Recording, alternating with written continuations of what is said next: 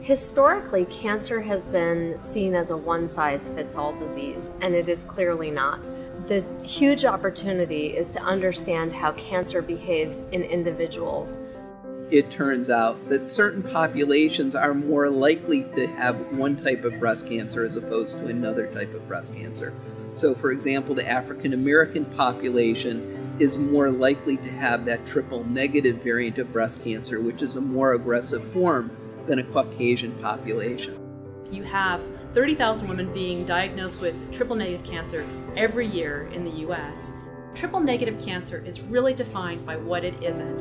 And all we have to treat these cancers really is chemotherapy. There are no targeted treatments that women of color have today. The way we treat cancer patients in general and breast cancer patients specifically is based on the results of clinical trials. One of the major issues is that certain ethnicities, for example, African American women, are vastly underrepresented in those cohorts, to the tune in most breast cancer studies of only a few percent. The only way that you can really find what's best for you is to have other people like you enrolled in clinical trials.